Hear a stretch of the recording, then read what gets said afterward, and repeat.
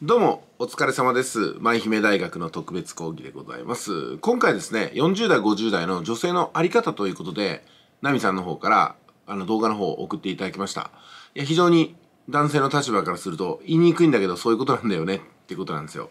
で、これはですね、やっぱり、昔の価値観のまんま自分もそうだろうというふうな、結局人ってね、思い込みと人の影響を受けすぎてるんですよ。例えばね、今、30代ぐらいの女性でも、自分が育ってきた家庭の環境がこうだったから、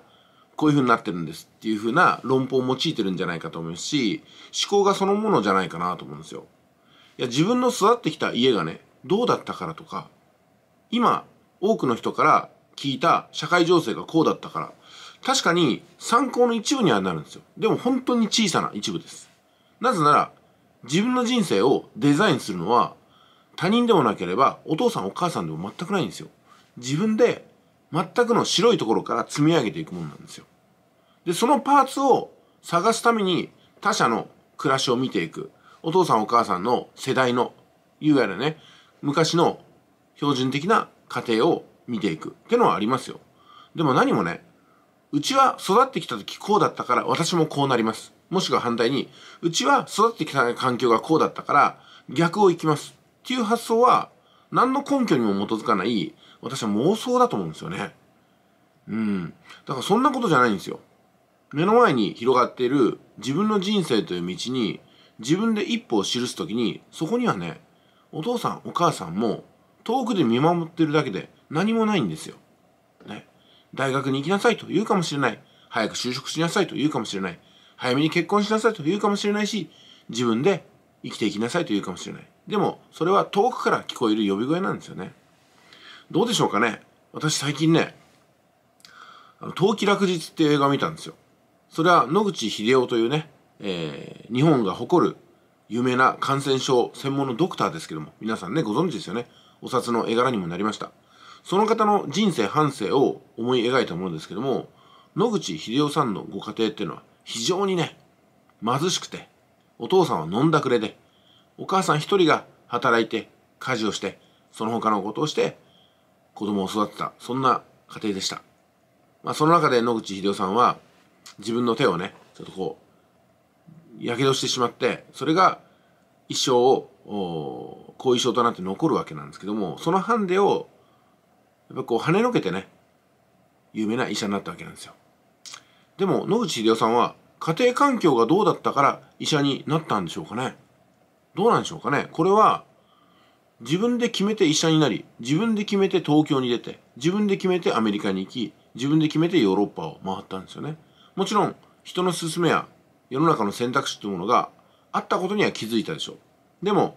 お父さんお母さんが言う通りにしたわけでもお父さんが言うその教えの逆を言ったわけでも全くないんですよ。いやここにですねまあ野口英世さんと私たちの人生を重ねるのは非常におこがましいんですけども発想の大きなヒントがあるんじゃないかなと思いますよね。一言で言うとね、あまりにも人の人生を参考にしすぎるというのが私の考えです。お父さんお母さんの人生にしても、はるか30年前、40年前の、その社会背景と、今私たちの社会背景全く違うんですよね。だからね、育ってきた頃に、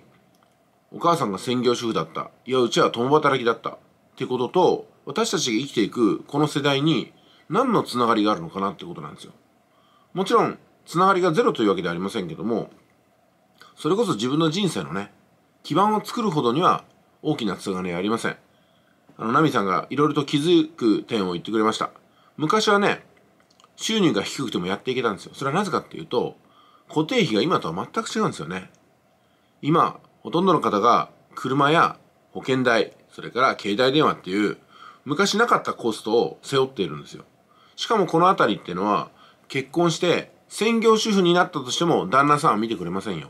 つまりは専業主婦でいることっていうのはすでに携帯電話を手放すっていう暮らしとかね、マイカーを諦めるっていう、そんな方向になってくるわけですよ。でもなかなかそうは考えられないですね。お父さんお母さんが払ってくれた携帯代、それは将来自分で払うことになる。この当たり前のこと。ね。旦那さんがお父さんお母さんの代わりになりますか？でも、皆さんね、この時代にでもね、お父さんお母さんから離れて、今度は自分の大好きな旦那さんに経済的負担を負わして何とも思ってない女性がいるのも確かなんですよ。ドキッとしませんかこれは？どうでしょうかね。男性も可愛くて愛してるうちはね、気持ちよく気前よく払ってくれてますけども、男性の状況は変わりますよ。男性の気持ちは変わりますよ。俺におんぶに抱っこの女、厄介だなって思う日が一夜にしてきます。ご用心ですよね。まあですんでね、やっぱりこう、自分で自分の暮らしを作っていくという自主性、自立性は必要だと思いますし、そういう女性に男性も魅力を感じるんじゃないですか。何でもかんでも俺任せみたいなのは、まあ、ある攻めの時期は男性としてもね、心地いいんですけども、攻めの時期ばかりではないです。男性にも春夏秋冬、秋がやってきます。それが40代です。40代に入ってくると、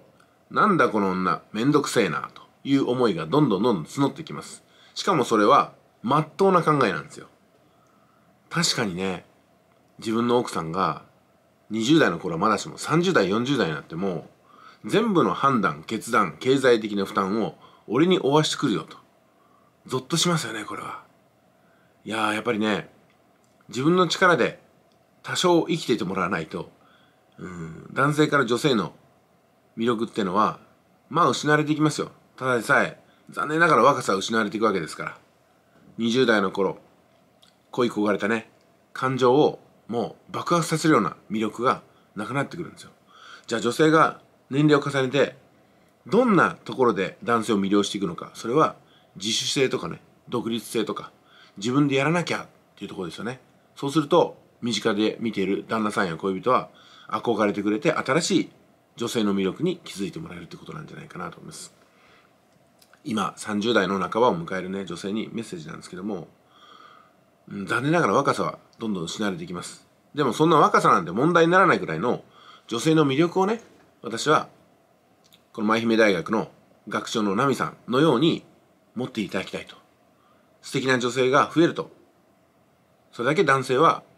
頑張っていかないとなと。この女性のために俺の命燃やしていかないとな捧げていかないとなっていうふうな気持ちになります。で逆に男性にも訴えかけたい。女性がね惚れてもらえるような女性が、あ、自分で頑張ってこの男性を支えていきたいなっていうふうな、